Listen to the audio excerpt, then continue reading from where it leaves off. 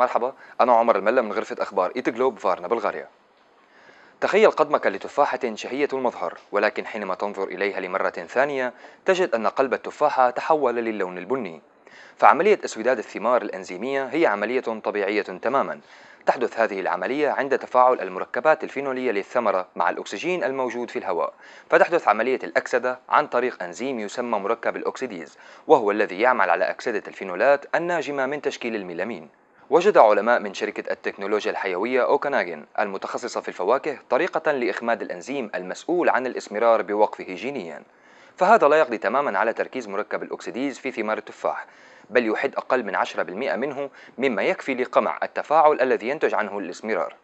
قام العلماء بتسمية هذا المنتج الجديد من التفاح الذي لا يتأكسد باسم أركتيك ومع ذلك فهو ليس صنفا جديدا تماما من الفاكهة بل هي تقنية أضيفت لأصناف التفاح.